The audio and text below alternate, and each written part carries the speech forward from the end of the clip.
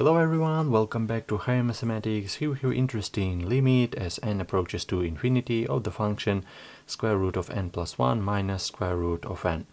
How can I solve this? First of all, we can use a direct substitution. So if we put infinity right here, we will have that this limit will be equal to infinity minus infinity. So we don't know what the value that represent because infinity minus infinity is undef undefined. Uh, what we're going to do in, in our case, I want to suggest you a little bit trick right here.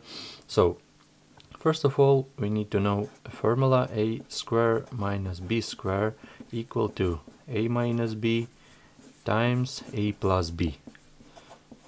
So I want to suggest you a little bit trick right here. So let's multiply the top and the bottom by the conjugate of the expressions that have the same square root. So this is this this function is close to that function with that minus sign. So let's multiply this by this with the plus sign.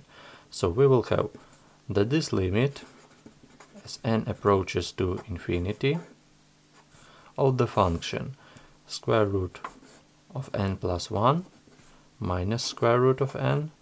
And we multiply this by the conjugate of this function so with the plus sign. So we will have square root of n plus 1 plus square root of n. And we of course need to divide by this the same thing. Square root of n plus 1 plus square root of n.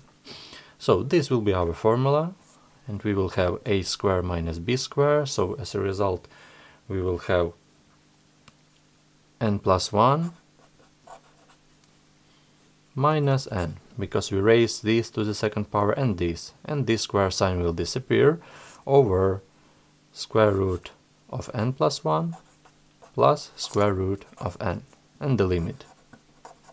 N approaches to infinity. And let's simplify this. This n and this n we, we can cancel so we will have the limit. N approaches to infinity of the n over square root of n plus 1 plus square root of n.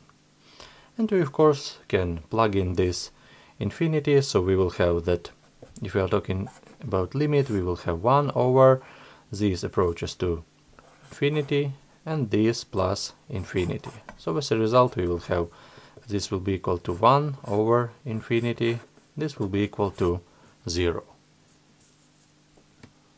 And this is our answer. Thank you for watching and see you in the next videos.